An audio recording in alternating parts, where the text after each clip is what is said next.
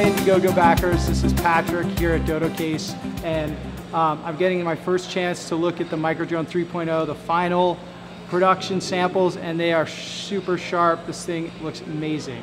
Um, I'm super excited that the Dodo Case virtual reality viewer is going to be shipping with this. We've got the larger lenses. We've tried a lot of different versions. Vernon tested a bunch of different stuff, and this is going to be what you're receiving. We got extra large lenses, a port so that you can access your screen, and extra long immersion tabs so you get really good uh, field of view and uh, the angle with the light is, is blocked.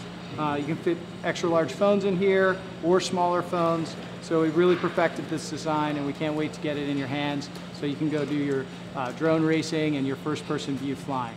Hi, my name's Craig Dalton. I'm CEO and co-founder of Dodo Case.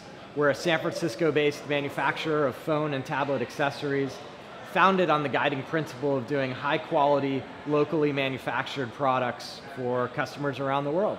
The benefit of our design philosophy and manufacturing philosophy of making things local is that we're able to react extremely quickly to both market opportunities and changes in our own products. So if we get feedback from a customer, we can very rapidly test and integrate it back into the product development and actually manufacturing flow with ease. One of our hallmarks has been the ease of construction. So let's take a look at how, you put it together. Simply pull it out of its packaging,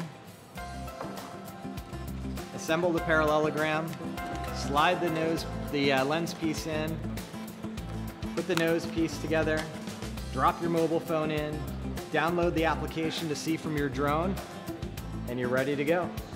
It's as simple as that.